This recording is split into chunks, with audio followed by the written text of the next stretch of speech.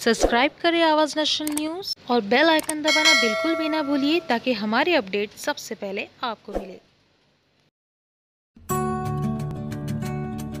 हर साल की तरह इस साल भी चेंबूर कैंप के कोकन नगर स्थित सुन्नी मदरसा वेलफेयर कमेटी द्वारा कवाली का आयोजन किया गया।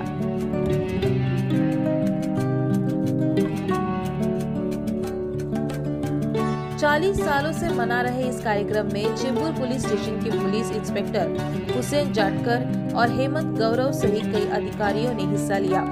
इस अवसर पर चेंबूर कैंप के आरसी मार्ग पर बने कोकन नगर के सुन्नी मदरसा वेलफेयर कमेटी द्वारा आयोजित रतीब में लगभग 2000 से ज़्यादा लोगों ने शिरकत की। इस रतीब में महाराष्ट्र के अलग अलग हिस्सों से, जैसे डोंगर, राजपुर तालुका रत्नागिरी डिस्ट्रिक्ट गाँव से आकर मुंबई से इस इलाके में बसे लोगों ने एकता का मिसाल कायम किया। मुंबई के कुर्ला, वडाला सिवड़ी नवी मुंबई जैसे कई इलाकों के परिवार साथ आए और लोगों ने एक साथ शामिल होकर ये प्रोग्राम किया। मदरसा में पढ़ने वाले करीब 25 बच्चों ने इस्लाम की बुनियाद कायम रखी है। इन बच्चों को कमेटी के जानिब से तोहफा देकर बच्चों को प्रोत्साहित किया गया।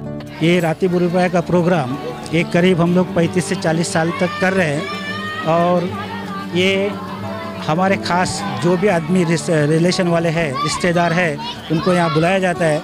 इसमें जितने भी जितने भी यहाँ के पुलिस स्टेशन समझ लो, पुलिस इंचार्ज है, सोशल वर्कर है, यहाँ हमारे नगर सेवक है, आमदार है, खासदार को खास करके बुलाया जाता है। और उनका सत्कार यानी इस्तकबाल या प्रोग्राम भी रखा जाता है। इसमें हर कम्युनिटी के लोग यहाँ हाज़िर होते हैं। हमें उनको इस्तकबाल करने का मौका मिलता है और उसी तरह उन लोग भी अपनी दिली इजहार पेश करते हैं। ये हमारे ज़माने से ये प्रोग्राम शुरू होने होता है और हर एज के हिसाब से अभी तक 40 साल में जितने भी यंग लोग हैं, ये सुन्नी गौसिया कमेटी के नाम से ये प्रोग्राम होता है।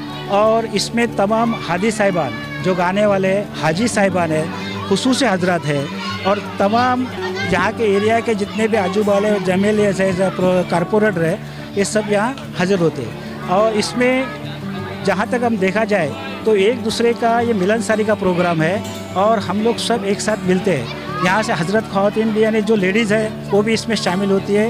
यानी जहाँ तक हमारे रिश्तेदार गाँव में आया, इतराब में फैले हुए, जैसे वडाला है, शिवड़ी है, बेलापुर है यहाँ इतराफ़ के लोग इसमें प्रोग्राम में शामिल होते हैं और ये शामिल होने के बाद बिलखसूस इसका इंतज़ाम सुन्नी गौसिया कमेटी ही करती है और अभी के जो प्रेजेंट सदर है, जनाब मुश्ताक अब्दुल हमीद साकरकर है और सेक्रेटरी सोहेल कोतवड़कर और उसी तरह उसकी मदद देने के लिए हमारे यहाँ के जैसे मुराद मोहिद्दीन मस्तान है और साथ साथ यहाँ जितने भी यंग लोग हैं वो इसमें शामिल होते हैं। यहाँ के माजी जो है, जैसे हम लोग हैं, माजी सदर अकबर सागरकर, वहाँ के समझ लो, जहाँ के अभी कारपोरेटर समझ लो, जो अभी यानी चीफ प्रमोटर यहाँ डेवलपमेंट में जा रहा है तो चीफ प्रमोटर भी है, वो यहाँ मुबारक इस्माइल पटेल और बाकी बुज़ुर्गों का साथ इसमें मिला होता है और यंग लोग और बुज़ुर्ग लोग, ये मिल के प्रोग्राम करते हैं। सुन्नी गौसिया कमेटी की तरफ़ से ये प्रोग्राम जो किया हुआ है पीर सैद अब्दुल जिलानी की ग्यारहवीं शरीफ और नियाज रखी हुई है। उसमें मैं शामिल होने के लिए आया हूँ और मैं खुद यहाँ कलाम पढ़ता हूँ और हर साल यहाँ आता हूँ। मैं कम से कम तैंतीस साल से ज़्यादा हो चुके हैं और ये प्रोग्राम चलते रहा है।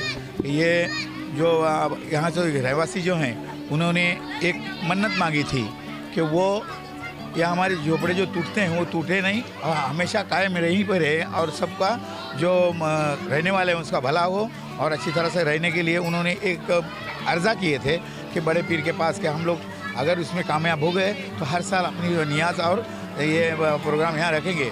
तो ये लोग घर में हमेशा जब इस प्रोग्राम में शामिल होने वाले बाहर से आते हैं, उनके लिए घर में ये खुद खाना वाना पका के उन मेहमानों का इस्तकबाल करते हैं, उन्हें खाना वगैरह खिलाते हैं। और ये बड़े पीर की ग्यारह शरीफ है, जो इनका ये बगदाद शरीफ में पूर्व अलिया के सरदार हैं। और उन सरदार का यहाँ प्रोग्राम होता है, क्योंकि हर वक्त, किसी वक्त भी उनको कोई पुकारे तो उस वक्त वो उनकी मदद करते हैं और यहाँ भी उनकी मदद हुई है और उस वजह से यहाँ ये यह हर साल प्रोग्राम ये लोग करते हैं। नगर सुन्नी गौसिया कमेटी का शुक्रिया अदा करता हूँ कि उन्होंने हर साल की तरह इस साल भी हम लोग को बुला के इधर इज़्ज़त अफजाई की है। ये गई 40 साल से ये प्रोग्राम कंटिन्यू कर रहे हैं और हर गाँव के जैसे सोगमवाड़ी, डोंगर विलिया इधर के सदर सदर आते हैं, उनका भी इधर इस्तेमाल किया जाता है। और बड़ी मेहनत से यहाँ के जो नौजवान लोगों को इज़्ज़त अफजाई करके बुलाते हैं और ये प्रोग्राम को करते हैं। मैं, मेरी तरफ़ से, डोंगर गाँव की तरफ़ से, मैं ये सुन्नी गौसिया कमेटी ओकर नगर का दिल, तय दिल से शुक्रिया अदा करता हूँ और उम्मीद करता हूँ इसके आगे भी ऐसे ही प्रोग्राम करते रहें। जो इधर पहले कैसा झोपड़पट्टी जो बनाते थे, वो बीएमसी वाले आके हर टाइम तोड़ते थे। तो हमारे जो पूर्वज लोग हैं, उन्होंने क्या किया है, इधर एक रातिब, इनका गौसपाक का हम लोगों ने रातिब रखे और गौसलोरा का रातिब रखे और वो रातिब में हम लोगों ने बोले कि बाबा, ये झोपड़पट्टी जो टूट रही है, वो टूटने दो मत, हर साल हम लोग इधर ये करेंगे, रातिब करेंगे, ग्यारहवीं शरीफ पढ़ेंगे, और वो हिसाब से एक चालीस साल तक चालीस साल से इधर ये रातिब शरीफ और ग्यारहवीं शरीफ का प्रोग्राम मतलब हो रहा है और जितने भी हम लोगों को कैसा है एरिया वाले को जो भी मतलब हेल्प जिधर जिधर से मिलते हैं, जो भी वीआईपी लोग हैं, उन लोगों को हम लोग इधर बुलाते हैं। यही एक साल में यही एक मौका रहता है हमारे पास कि उन लोगों को हम लोग बुलाते हैं, उनकी गुलपोशी करते हैं, उनको मान सम्मान देते हैं। तो हमारा जो मान सम्मान हम लोग देते हैं तो लेने के लिए जितने भी वीआईपी आते हैं, उनका हम लोग शुक्रगुजार कर हैं। कमेटी के तरफ़ से हम लोग शुक्रिया अदा करते हैं उन लोगों का। और जितने भी इधर लोग आए हुए हैं, उनका भी हम लोग शुक्रगुजार हैं। कमेटी की तरफ़ से हम लोग शुक्रिया अदा करते हैं।